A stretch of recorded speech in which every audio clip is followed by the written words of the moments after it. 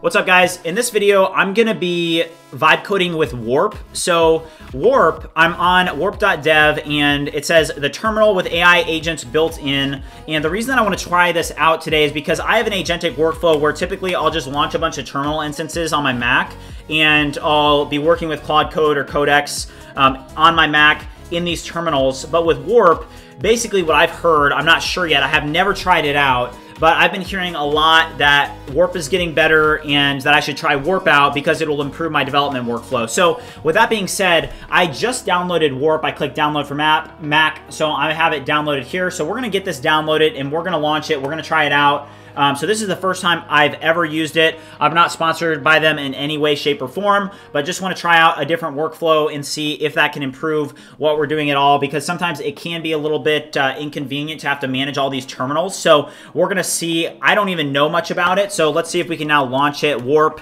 So here it is. Um, let's check out the pricing. So I'm going to open this. So Warp, so they have, let's see, I haven't even signed up, but they have a free plan, a build plan, a business plan, and then a custom plan. So build, pay as you go for developers who want flexible access to AI that scales with their usage. So 1500 AI credits per month. I mean, I'm assuming that I can just use like Claude code inside of Warp. At least that's what I've heard. So let me sign up real quick. I'm gonna sign up and um, we'll get into it.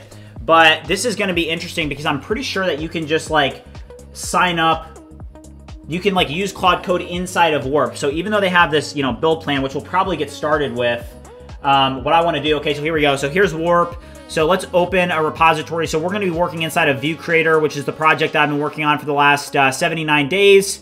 Um, let's open up View Creator and give it a shot. Open it up. Um, okay, so View Creator, this is interesting. Okay, so literally I just opened it up and all there is to it is like tabs uh, so let's see, agents. So install a binary dependency, start a new project, deploy your project. So new agent, what does that do? Oh, wow. Okay, so just open up another agent. Oh, wow. Okay, so I can open like a bunch of agents up. So I guess this is how you use their... Is there a way to open up a, just a terminal, though? Terminal? Like, can I... I don't think that these are terminals, are they? Does anybody know in the chat? What do you, how do I open up a uh, warp? So Super Combo Gamer said Warp is like an AI terminal. Um, XCarm said Command plus T, new tab, Command D equals split screen. So how do I open up like a terminal and just open up Claude Code? Like how can I link Claude Code? So you can see that, you know, you can link to all these different uh, models here. So it's similar in that way to like a cursor where you can just, you know, integrate with whatever, whatever model that you want.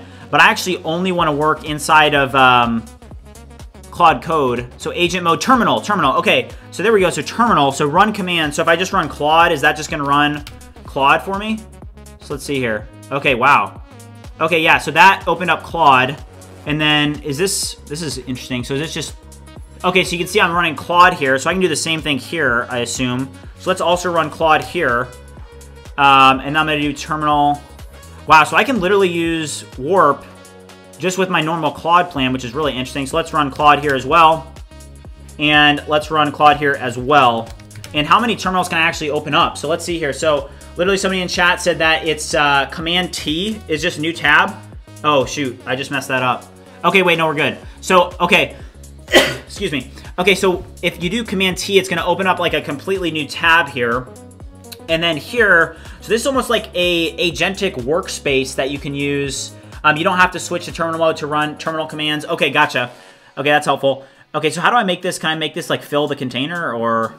Scroll to top, toggle. Okay, that's fine. So I'm just going to do, like, can I just launch a bunch of these? Somebody in chat said that there was a certain command for that to do. Okay, Command D. So if I just do Command D, is it going to continue to do more? So Command D. Okay, wow.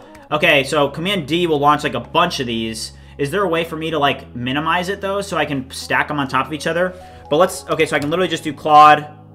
Oh, wow. Okay, yeah, so Claude, Claude, Claude, Claude. Wow, this is actually a much better experience. Okay, so I'm not managing like all these terminal windows. The only question is, is like, just when you have too many open, it gets a little bit uh, crammed here. Is there a way to like minimize these? Uh, maximize pane. Oh shoot, I just messed that up. All right, minimize please. Minimize pane. Um, does anybody know how to do this in the chat? So this is really interesting because you're able to launch a bunch of instances as well. Okay, you can split vertically as well. Is Sam just said in the chat. Um, I think it will crash now. Okay. Uh, gotcha. Okay. Open that link. Okay, Super Combo just dropped in a link in the chat. So we're going to open this up and, and, take a look and see um, um, and see what that is. He says that there are different shortcuts. So as, as, you guys can see, you know, we can launch a bunch of different Claude instances, and I don't even have to pay anything for this, which is pretty cool. So I'm to open up the link that he just dropped. One second here. And, um, all right. So here are, is the documentation. So it says window management. So the global hotkey is a configurable shortcut that can show hide a dedicated window or all windows on your chosen desktop regardless of whether the app is focused. Tabs allows you to organize a window into multiple terminal sessions. Split panes allows you to divide a tab into multiple rectangular panes, each of which is a unique terminal session. Okay, so this is the one I'm interested in split panes. So, all right, so on Mac OS, split panes to the right, Command uh, so right down with Command D or in any direction by clicking on a pane. Activate the previous next pane with Command and then bracket. Uh, navigate among split panes with a option Command arrow. The active pane will be marked with a triangle in the top corner. Um, toggle maximum pane with Command Shift Enter and close the active pane with Command W. So you can also drag and drop panes, click and drag a pane's header around a given tab, drag the pane. So I'm still not seeing, like, how do I... Okay, I get it. I get it. So I'm just trying to figure out how do we make it so that these are horizontally split? How do I do this, guys? Anybody in chat know? Uh, J35 in the chat just asked, what are we doing? So right now we're testing out Warp. So I've been meaning to test this out. This is going to be a YouTube video that's going to go on YouTube. Say what's, so say what's up to YouTube if you're in the chat. But right now we can, you know, change these horizontally. But what, what I'm curious about is how do we make it so that these are like, why can I not... So tag agent for assistant, save his workflow, filter block output, uh, toggle, okay, interesting. Command Shift D. Okay, Command Shift D. Oh, wow. Okay. Oh, whoa. Oh, wow. Okay, so Command Shift D. Okay, big shout out to Is Sam Your uh, chat just got deleted by Nightbot, but I saw it. Also, shout out to Jesse. So Command Shift D allows it so that it splits it and adds it into these panes. So check this out. So we added a bunch of these, but these are actually probably not even that necessary because I think it looks better not to have them like so large there. So let's close a couple of these. And what we'll do is we will launch Claude instances like this. We'll do vertical. I think that's just a little bit better. So Command Shift D will add four. So we'll do four. Oh, oops. Uh, we'll do four vertically and then four horizontally, and that will do, that will give us 16 Claude instances. So let's just launch this. DDD, uh, oops, added an extra one in there. Um, uh, cancel. All right, interesting, interesting. Okay, so four, so we now have 16 Claude instances. I actually have to launch all these. So literally, you don't even have to, if you just run Claude, it's smart enough to know um, that you're wanting to launch a Claude. So let's just literally just do Claude, and I'll do copy. And so we can just do this really quickly. Claude, Claude, Claude, Claude, Claude, Claude. All right. All right. So we're going to do a bunch of Claude instances. Um, we have, this is, so this is Warp. And with Warp, what's really cool is, you know, my usual workflow is I have just like Mac terminals opened up and um, with the Mac terminals, you know, I can usually have about four. I have to like kind of keep them organized. They can kind of become a little bit of a mess. But it looks like with Warp, I can just literally terminate these because this this win this is almost like a, a Tmux on a Tmux on steroids because this is just enables me to do that, um, which is really nice. So we're gonna launch all these Claude instances. As you guys know, you know Claude is the best model right now, so we're gonna use Claude. Um, sorry, I just, uh, hold on, the music shut off. Give me a second here. Um, so let's launch this. So Claude, Claude, Claude, Claude.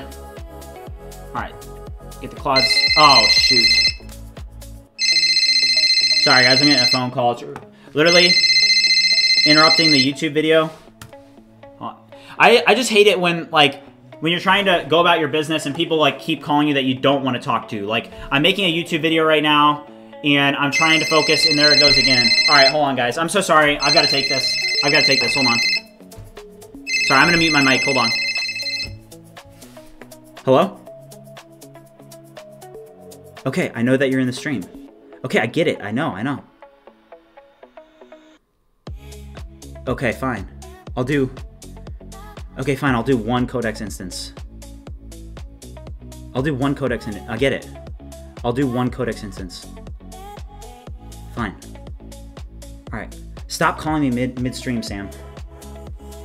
Stop calling me midstream. Okay, fine. I'll do one. Fine. Fine. Jeez. Alright, sorry guys. I was talking to uh, my ex. Um, Alright, so I actually want to do one codex instance. Um, we're going to update it because I don't use it that often. Um, so let's see here. So we do have one Codex instance launched. I guess I just updated it, so I'm gonna have to run it again. So we have 15 Claude instances and then one Codex instance. Um, so let's see here. So let's just do, let's just start working. Can I do ats in here? Okay, wow. Okay, so it is a little bit crammed there with four on each. Um, so maybe maybe three, just because it gets a little bit crammed with the uh, the at instances. Like let's let's drag these up a little bit. Um, but wow, this is pretty good. So let's do an at view creator uh, UI. And like for this one, I want you to do an in-depth deep dive of the website. And I want you to identify opportunities for us to improve our SEO. Okay. All right, I am definitely playing copyright music right now, but that's all right. Um, okay, so now we, are there. So that one's going to look at the SEO. And what's cool about, you know, this agentic workflow is that you're able to have a bunch of different uh, instances running at once and manage a bunch of different tasks. What's important is that you're actually able to keep track of what you're working on. But look at this, it literally says SEO analysis right at the top there, which is really nice. So that's, okay, so this is one benefit of Warp that I just noticed. So watch this, guys. Do you see at the top here, you see this, how it literally says SEO analysis? So I just dragged that to a pane, so that actually kind of just messed that up. Uh, how do I make that? Can I revert that? Hold on. Uh, yeah, see what I just did? So, but what I was trying to show you guys is that at the top here, oh, Command Shift Enter, Command Shift Enter. I don't know what I just did. Sorry, I messed it up. That's all right. We still have all these instances. Um, so what you guys can see is that if you, when you prompt, it actually kind of like puts the topic of discussion at the top. So I did, so Command Shift D, I'll add in another. So let's do um, at View Creator API. And what I'm gonna do here is I'm gonna say, I want you to review the API and scan the application for potential um, vulnerabilities and rank them in a table on a scale of 1 to 10, 10 being extreme vulnerability, 1 being not that bad. I don't know. And I'm actually not going to show that one, or I don't want to show that one. So how would I, what did I do on that last one to make it? So I can literally, okay. So now can you see how this says API security audit? So I can literally grab this and put it in another tab. And so now I can kind of navigate between tabs here. So then I can do another Control D. Or wait, hold on. Okay, so Control D does a horizontal pane. Control com or, uh, com Command Shift D, at least on a Mac, is going to do a vertical one. So we'll do another Claude instance, and then we'll do another Claude instance. And um, dang, this is this is actually really nice. Uh, open the Claude instance and drag the SEO Analytics Claude window into it. Um, all right. J35 said, amazing, I have to download it. A Claude instance for Gemini CLI, for Qwen, and for Codex. Yeah, I mean, you could do that, right? You can work with multiple at once. So now I'm going to say, review the at View Creator API and identify opportunities for us to make the code base more maintainable and scalable without breaking functionality. Um, so I'm going to drop that in there. So that's basically, yeah, code base review. Um, and then here, I'm going to have it, um, let's just do a, a, quick review. So we'll do at view creator. Um, we'll have this check one thing real quick. View creator API. So you have to do the at, I missed that. So at view creator API, um, at view creator database, uh, not AWS database. Hmm. One issue with Warp is that since I'm running so many, it's hard to see it. That's all right though. That's all right. That's all right.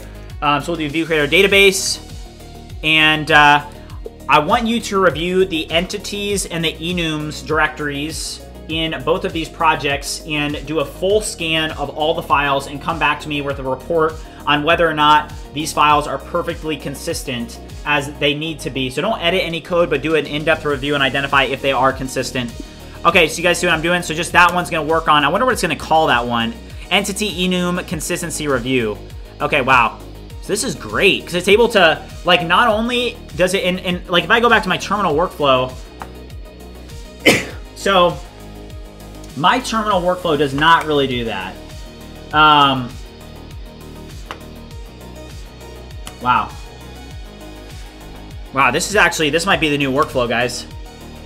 This actually might be the new workflow. If you guys are watching, have not already liked and subscribed, make sure you do so. I'm live every single day, and uh, let's get it. So it's just like normal Claude. I mean, I don't, even, I don't even have to pay for this, do I? I didn't pay for any plan. I'm on a, I didn't even, I just literally signed up, and it's completely free if I'm using Claude. Now, if I wanted to use their native AI, like it would be like almost like Cursor where you pay for usage, right? But this, I can just launch all my Claude, my Claude instances in it, and it's almost like an IDE, but you can't see the code.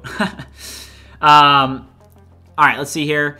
Um, so let's give these uh, these Claude Code instances some more tasks. Um, so, oh my gosh. Hold on. Jeez. Hold on, I'm gonna mute my mic. Jeez. Hey, what do you want? Okay, okay. Alright, fine. I'll use the Codex one next. Alright, you don't have to threaten me. You don't have to threaten me, I get it. Alright. Alright, I'll use the Codex one next. I'll give it a task. I'm gonna give it a really easy one though, because it, it's garbage. Alright, fine. See ya.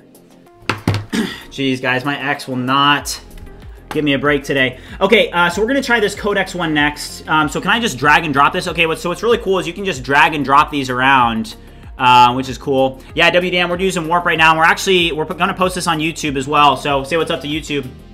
Um, all right, so we're gonna use Codex and I'm just gonna instruct or what's what's it using model-wise? So is it literally already hooked up to MD model? Yeah, so it's literally already hooked up to all my Codex configurations, just like I was running it in the terminal do a complete in-depth review of the project and I want you to come back to me with an analysis on the API and different use cases of how we can actually improve our uh, console logging, or not necessarily our console logging, but just our logging in general for debugging. Do an in-depth review of our existing logging system and come back to me with potential improvements that we can make.